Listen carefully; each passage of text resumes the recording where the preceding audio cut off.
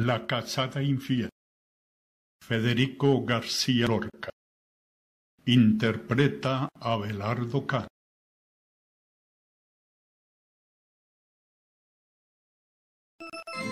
y que yo me la llevé al río creyendo que era mozuela, pero tenía marido.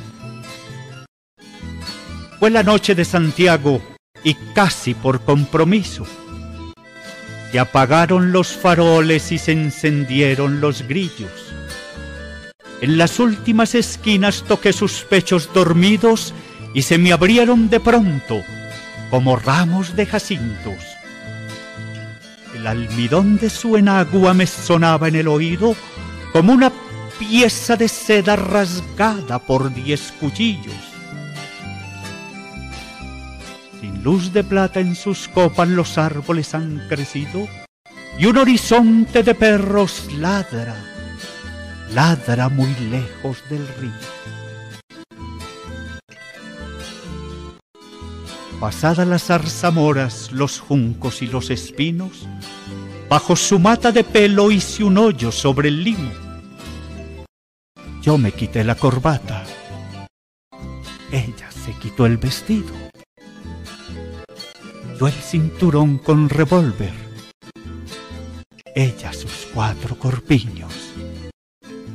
Ni nardos ni caracolas tienen el cutis tan lindo, ni los cristales con luna relumbran con ese brillo.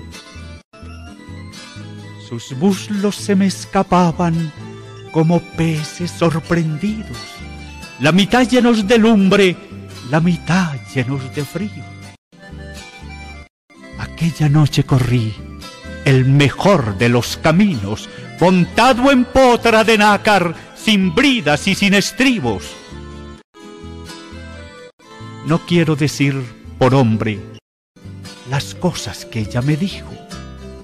La luz del entendimiento me hace ser muy comedido.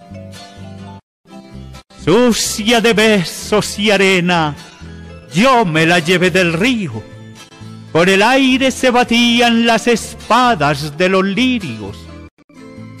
Me porté como quien soy, como un gitano legítimo, y le regalé un costurero grande, de raso pajizo, y no quise enamorarme, porque teniendo marido, me dijo que era mozuela cuando la llevaba al río.